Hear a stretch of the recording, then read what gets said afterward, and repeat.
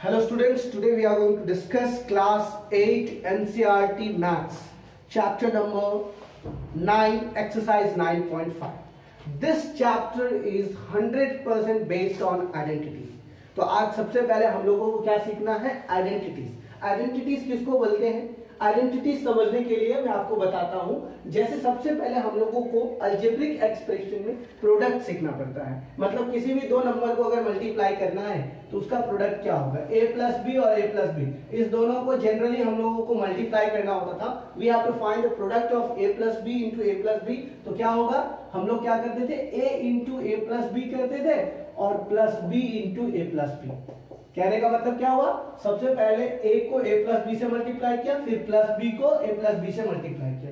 तो हम लोगों का आंसर आता था ए को मल्टीप्लाई किया तो A square plus A B फिर वापस बी को मल्टीप्लाई किया ए से तो A B plus B square तो यहाँ पे ए बी और ए बी दोनों सेम टर्म्स है तो हम लोग ऐसे लिख सकते थे A square plus two A B one A B plus one A B two A B plus B square तो ये इसका एक आइडेंटिटीज हो गया कि हमें इतना मल्टीप्लाई नहीं करना है, सीधे a plus B into A plus B A plus B मतलब यहाँ पे आप देख लीजिए, दो बार है ए प्लस बी तो इसको हम लोग क्या कह सकते हैं? ये ए प्लस बी का होल स्क्वायर है। क्या है?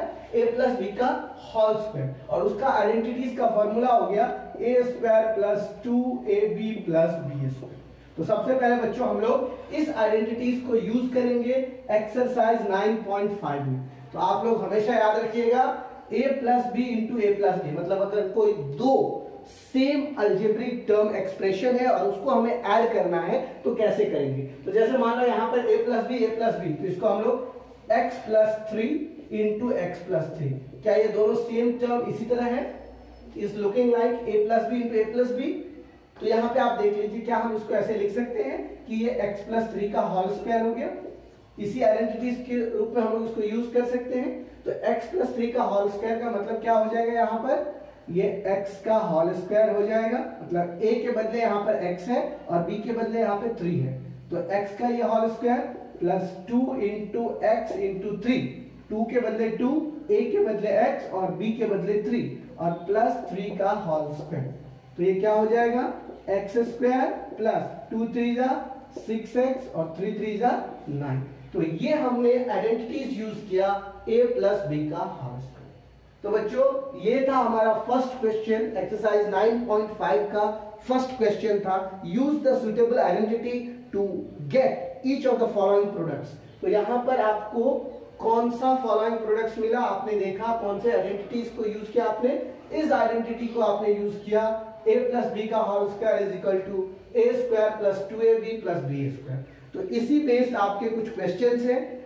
और एक जो है वह same two A minus seven two A minus seven चलिए मैं आपको one two one question solve करवा देता हूँ। क्वेश्चन नंबर टू की तरफ़ हम लोग चलते हैं। हम लोगों को बस एक ही चीज़ याद रखना है कि आइडेंटिटीज ए प्लस बी का whole square so this was our first question अब क्वेश्चन नंबर टू की तरफ़ हम लोग चले। फ़र्स्ट का ए फ़र्स्ट का बी फ़र्स्ट का बी है हमारा two X plus two Y plus five और टू वाई प्लस फाइव तो क्या ये क्वेश्चन आप लोगों से बनेगा?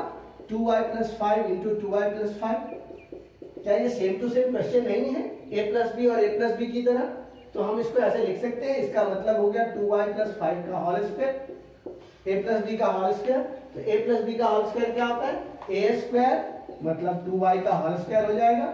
प्लस टू ए बी मतलब plus two Y into five two into two Y into five two A B और प्लस बी स्क्वायर मतलब फाइव का होल स्क्वायर तो ये हमेशा याद रखना मिडल वाला जो टर्म है टू ए बी है और यहाँ पर ए वाला जो टर्म है, हमारा टू वाई है।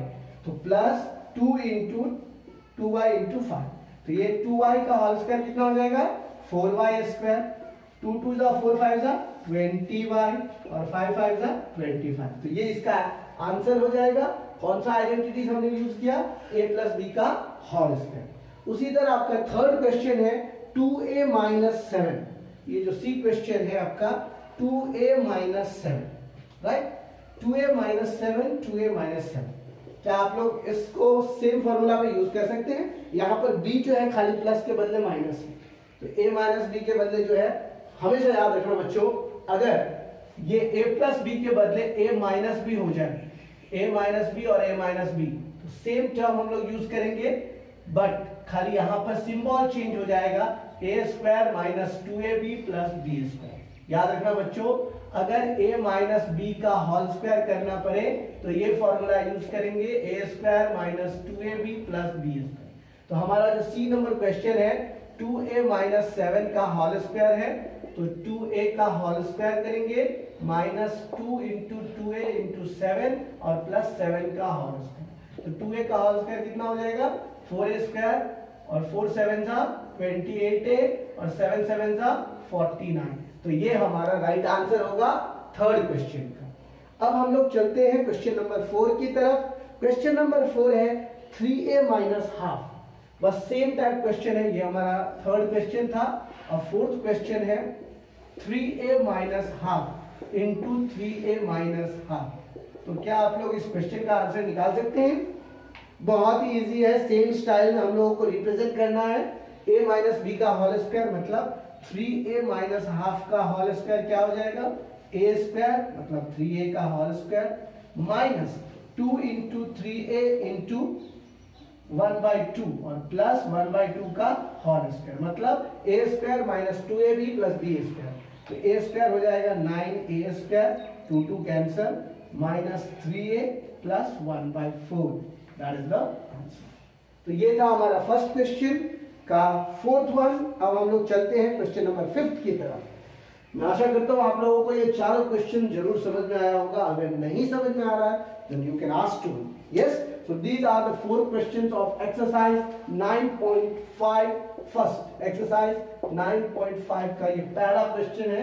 तो फ़र्स्ट के फ़र्स्ट सेकेंड थर्ड फोर्थ और टोटल इसमें टेन क्वेश्चन है अगर आप लोगों को कोई क्वेश्चन ऐसा लगे कि सर मैं ये क्वेश्चन नहीं बना सकता हूँ या नहीं बना सकता हूँ तो आप लोग कमेंट बॉक्स में ज़रूर कमेंट करें ताकि मैं वो क्वेश्चन का दोबारा वीडियो बना सकूँ That's all. This was the first answer. Next video में हम लोग मिलेंगे क्वेश्चन नंबर टू के साथ. That's all for today. Thank you. Thank you very much. Don't forget to like and subscribe the channel. Share this video with your friends so they can be also benefited. Thank you. Thank you very much.